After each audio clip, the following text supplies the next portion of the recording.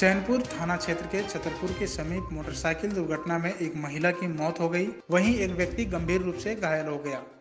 मृतक की पहचान लूसी एक्का एवं घायल व्यक्ति ब्लाइस कुजूर के रूप में की गई। दोनों ग्राम पाकाटोली प्रखंड जारी के रहने वाले थे। बताया जाता है कि दोनों पति पत्नी थे और अपने रिश्तेदार के यहाँ बर्थडे पार्टी मनाकर अपने गाँव पाकाटोली जा रहे थे। तभी छतरपुर के समीप मोटरसाइकिल अनियंत्रित होकर दुर्घटनाग्रस्त हो गई।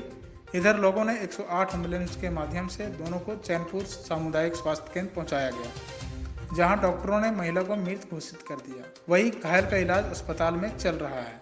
स्वदेश वाणी के लिए चैनपुर गुमला से मुकेश कुमार की रिपोर्ट। रोड एक्सीडेंट में पति पत्नी दोनों घायल थी। जिस समय मेरे पास दोनों पेशेंट आया, उस समय काफ़ी सीरियस था और सस्पेक्टेड हेड इंजरी दोनों का था।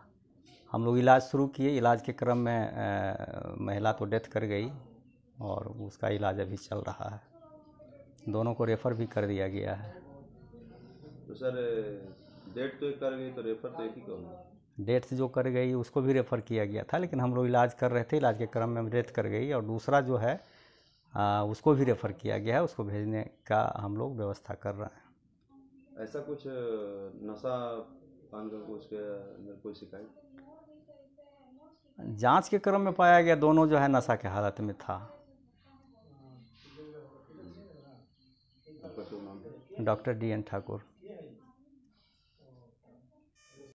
अगर आप इस चैनल पर नए हैं तो हमारे चैनल को लाइक शेयर एंड सब्सक्राइब ज़रूर करें ताकि आने वाली देश विदेश की खबरें आपको मिलती रहे। स्वदेश वाणी।